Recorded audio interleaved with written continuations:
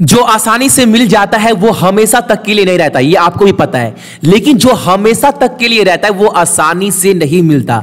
तो इसका अगर आप निष्कर्ष निकालेंगे एक वर्ड में तो आपको ये लगेगा कि मेहनत करने के बाद जो सक्सेस जो कामयाबी का मज़ा है ना, उसका मज़ा बिल्कुल अलग है। तो आप लोग सोच लो कि मेहनत कर कर अगर कामयाब होना है तो कितना मेहनत करना है? जितना मेहनत करेंगे, उतना ही जो है सक्सेस का रंग उतना ही चढ़कर आएगा। चलो इसी साथ क्लास को स्टार्ट करूँगा और जो भी चैनल के ऊपर नए हैं चैनल को सब्सक्राइब करने के बाद नोटिफिकेशन के बेल को दबा लीजिएगा और इसका सारा का सारा पीडीएफ आप सक्सेस की 98 डॉट इन के वेबसाइट से जाकर डाउनलोड कर लीजिएगा, ठीक है?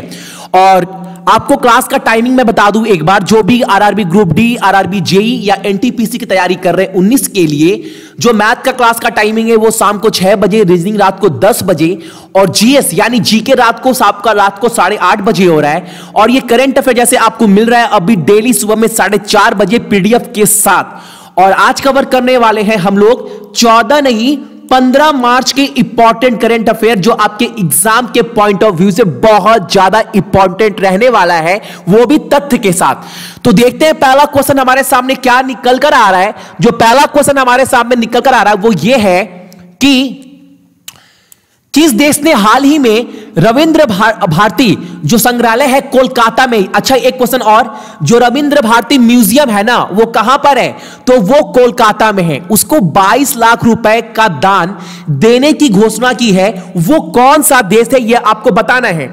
तो ये जो देश है ना, वो देश आपका जापान है। और एक बात मैं आपको बता दूँ, ये जो पैसा दिया जा रहा है, जो भी म्यूज़ियम में, जो कल्चरल, जो हिस्टोरिकल सामान है ना, उसको और, उसको अच्छा से, उसको स्ट्रेंथ उसको और अच्छा से रखा जाए, मरम्मत किया जाए, इसके लिए जो जापान है, वो 22 लाख रुपया दे रहा है कलकत्ता की सरकार को, ठीक है? और जापान का जो राजधानी है, वो क्या है? टोक्यो, और वहाँ का मुद्रा क्या है? तो जापानी सीन, और वहाँ के राष्ट्रपति का नाम क्या है? तो सिनोज एबे। अगला जो प्रश्न निकल कर आ रहा है, वो ये आ रहा है कि 2019 S A double F F यानी South Asian football federation world championship जो है, का जो मेजबानी, जो यानी जो होस्ट करने वाला है, वो कौन सा देश होस्ट करेगा, यह आपको बताना है।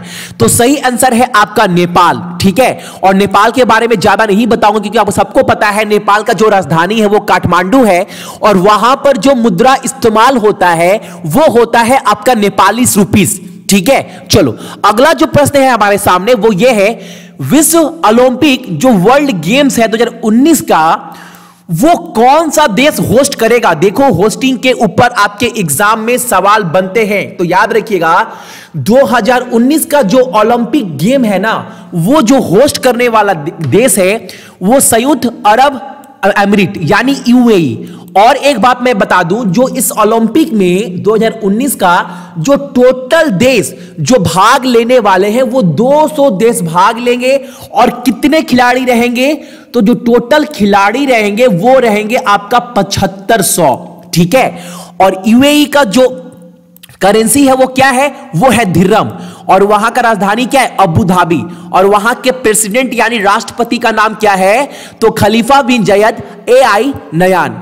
चलो अगला जो प्रश्न निकल कर आ रहा है वो ये निकल कर आ रहा है और आज का सवाल भी आप सभी के लिए इस प्रश्न से ही है ठीक है? किस राज्य की आ, बोल सकते हो इरोड मंजल यानी हल्दी बोलते हैं इसको हल्दी को हाल ही में जोग्राफिकल इंडिकेशन का टैग मिल गया है। यानी भौगोलिक संकेत का जो टैग है, वो मिल गया है। ये जो हल्दी है, वो किस राज्य का इरोड है, ये आपको बताना है। तो ये है आपका तमिलनाडु का। और तमिलनाडु का जो राजधानी है, वो क्या है? चेन्नई। वहाँ के सीएम कौन है? ये। और वहाँ के गवर्नर कौन है? तो बनवारी लाल पुरोहित। और आज का आपका सवाल है, अगर आप डेली करंट अफेयर देख रहे हैं, डेली पीडीएफ डाउनलोड कर रहे हैं तो आपको एक या दो दिन मैंने आपसे पहले, कल के क्लास में मैंने आपसे पूछा था किस राज का जो सुपारी होता है ना, जो पान में डालते हैं, उसको भी जोग्राफिकल इंडिकेशन यानी भौगोलिक संकेत का टैग दे दिया गया है सुपारी के लिए। तो वो सुपारी जो है किस राज का है? जिस तरह हल्दी जो है, वो तमिलनाडु का है तो सुपारी किस राज का है, ये आपको कमेंट्स कमेंट्स में बताना है।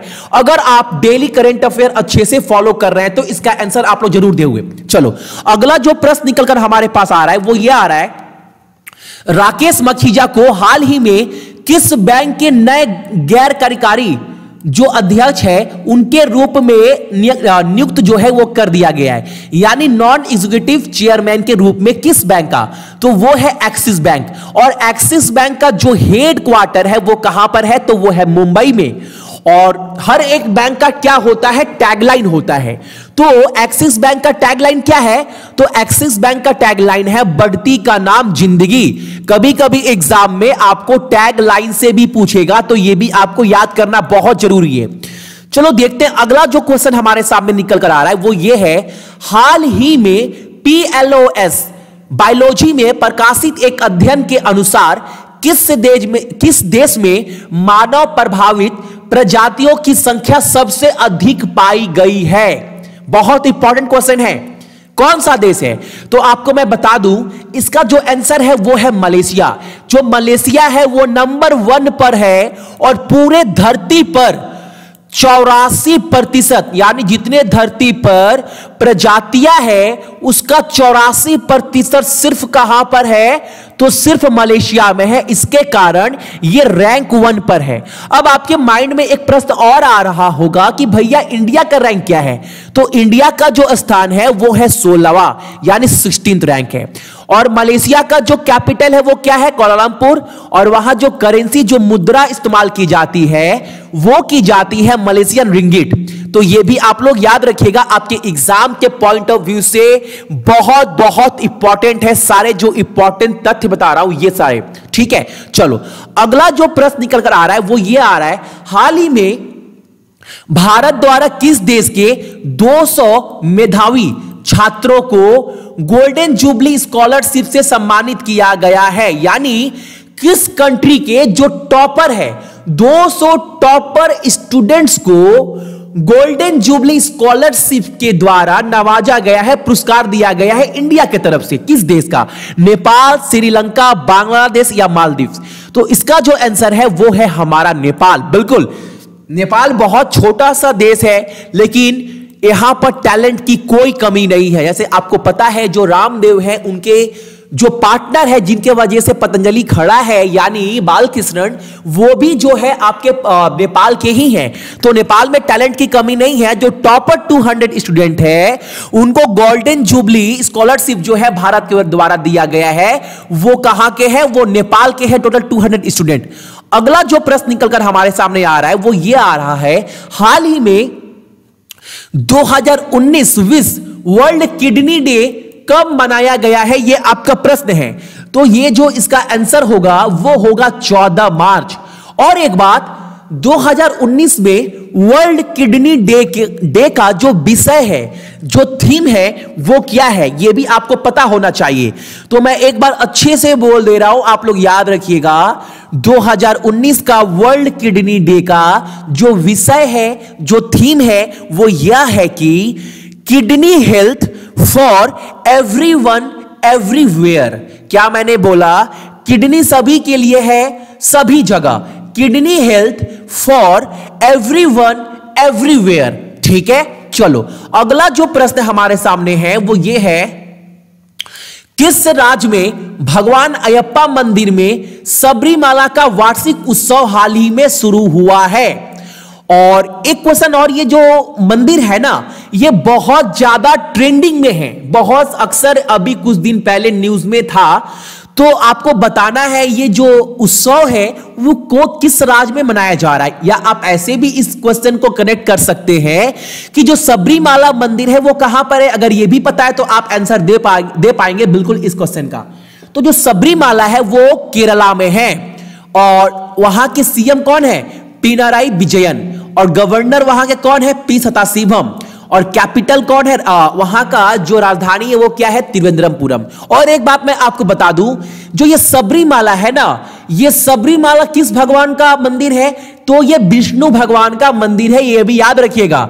जो सबरीमाला मंदिर है केरला में ये विष्णु भगवान का मंदिर है। ठीक है? चलो अगला जो क्वेश्चन हमारे सामने निकल कर आ रहा है वो ये आ रहा है बीसीसीआई में क्रिकेट प्रशासन के विवादों को सुलझाने के लिए जो मीडिएटर के रूप में सुप्रीम कोर्ट में किसे नियुक्त किया गया है यह आपको बताना है। उनका नाम क्या है? जो कमेटी बनाई गई है, जो मीडिएटर बनाया गया है कि जितने भी जो प्रॉब्लम है बीसीसीआई को लेकर, उसका जो प्रॉब्लम निकालेगा, जो सॉल्व करेगा, उस कमेटी का हेड को किसे बनाया गया है?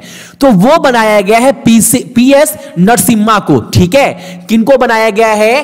तो वो है आपका पी एस नरसिम्हा, ठीक है? अगला जो क्वेश्चन हमारे सामने निकल कर आ रहा है, वो ये है कि कौन सा राष्ट्र जल्द ही भारत में छह परमाणु उजरा संयंत्र स्थापित करेगा? इसका मतलब कौन सा वो कंट्री है कि बहुत जल्द इंडिया में सिक्स न्यूक्लियर पावर प्लांट बैठाने जा रहा है? कौन सा देश है ये? तो इस इस देश का नाम है आपका यूएस यानी यूनाइटेड स्टेट ऑफ़ अमेरिका और यूएस का जो करेंसी है वो क्या है? तो वहाँ पर जो इस्तेमाल होता है, वो होता है डॉलर और यूनाइटेड स्टेट डॉलर और वहाँ का जो कैपिटल है, जो वहाँ का राजधानी है, वो है वाशिंगटन डीसी और वाशिंगटन डीसी ये भी बता दूँ, ये W H O World Health Organization का भी हेडक्वार्टर है, ये सब याद रखिएगा. और राष्ट्रपति कौन है वहाँ के, सभी को पता है मैक्सिमम स्टूडेंट्स को पता है कि डोनाल्ड ट्रंप अब ये थे इंपॉर्टेंट करेंट अफेयर आपका कब का? 15 मार्च का। और इसका पीडीएफ सारा का सारा आपको मिल जाएगा सक्सेस की 98 डॉट इनसे जाकर डाउनलोड कर लीजिएगा और एक बार और आप लोग क्लास का टाइमिंग देख लीजिए। जिन्होंने क्लास मिस किया है चैनल जैसे ही ओपन करेंगे सक्सेस की 98 तो देखेंगे हर एक टॉपिक का प्लेलिस्ट बनाकर मैंने आप लोगों के लिए रख दिया है ताकि आपको वीडियो को खोजने में प्रॉब्लम ना हो।